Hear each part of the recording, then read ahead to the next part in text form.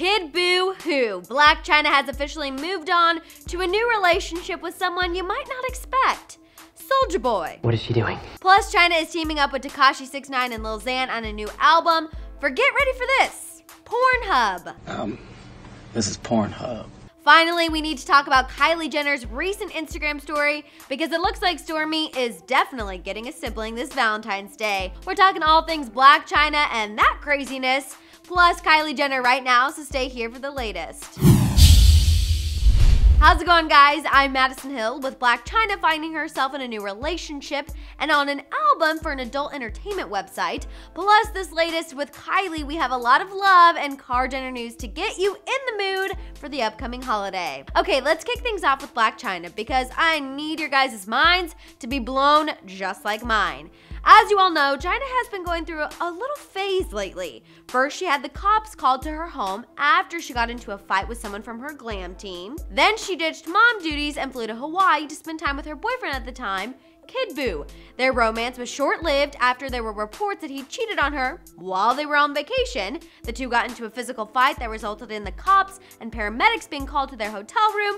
While neither of them were taken into custody or the hospital, it had us all saying, WTF.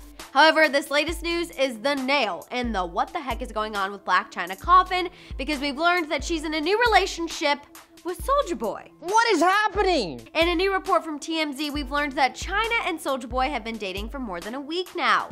And if you're already having doubts about these two lasting, then let me tell you how they met. Sources close to both parties told TMZ that their relationship began after the two slid into each other's DMs. Shortly after that, they did a little flirting on the IG, then the two decided to meet up IRL, in real life, just last week. TMZ reports the two met up at Sean Kingston's LA penthouse, and that's when things really started heating up. Since the party where they were cuddling and dancing the night away, sources say the two have been, quote, inseparable. To prove it, these two also reportedly hit up some Grammys parties together, and although people thought they were there just as friends, clearly that's not the case. Despite sources saying the two wanted to start things slow, if these two are already making public appearances and spending all their time together, that tells me that's gone out the window. And now I'm totally confused because I never thought I'd agree with Chyna's crazy mom, Tokyo Tony.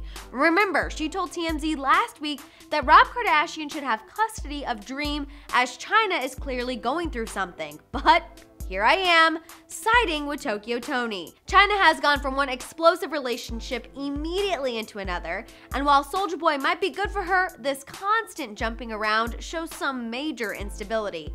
And unfortunately, I think she's just giving Rob and Mama Kris more ammo in that fight for full custody. Moving on, as I mentioned, we're not just here to talk about Chyna and her new relationship, we also have to talk about the projects she's working on with Tekashi 69 and Lil Xan. It's been announced that the three of them will all be featured on a new album with Pornhub Records that will be released tomorrow just in time for Valentine's Day. Apparently, Chyna will kick off the album with a song called Pornhub Valentine, where she details what she wants for Valentine's Day. Being that this label is ran by an adult entertainment site, I'll let you all use your imaginations on what Chyna gives details about wanting. Tekashi will apparently have a new song on there called Lanes. I assume this was recorded pre-jail. And Lil Xan's work will be a collab with other artists. So yeah, if you don't have any Valentine's Day plans, now you can listen to this new album. Lucky you. I will say there's two people who I doubt will be playing this album tomorrow, and that would be Kylie Jenner and Travis Scott, as the two look like they started Valentine's Day celebrations early. Kylie posted on her Instagram story a hallway of roses in the shape of hearts,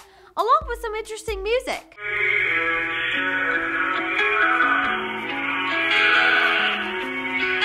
And while I'm not sure if that's super creepy or romantic, one thing I feel like will definitely be happening is the potential of Stormi getting a sibling. They are having lots of consensual sex. We know another baby is definitely on Kylie's mind thanks to her little Instagram post from Super Bowl weekend. So, hey, the potential is there. Personally, I think Travis should also think about getting on one knee, but maybe that's what was at the end of the tunnel, too. Knowing these two, whatever major thing happens on Valentine's Day, they're gonna wait and surprise us because that's kind of what they do. Alright, you guys, I'm ready to hear your thoughts on all of this love news. What was your reaction to Blac Chyna and Soulja Boy dating? Do you think they'll last, or is this just a fling? Also, thoughts on Blac Chyna being on an album for Pornhub. Finally, what did you think of Kylie's Instagram story? Is Stormi getting a sibling this Valentine's Day, or is Kylie getting a ring? Tell me your thoughts and theories down there in the comments. For more Chyna news, check out our video on her Instagram Live where she calls out Rob and Tyga. And for more entertainment news, subscribe to Hollyscoop now.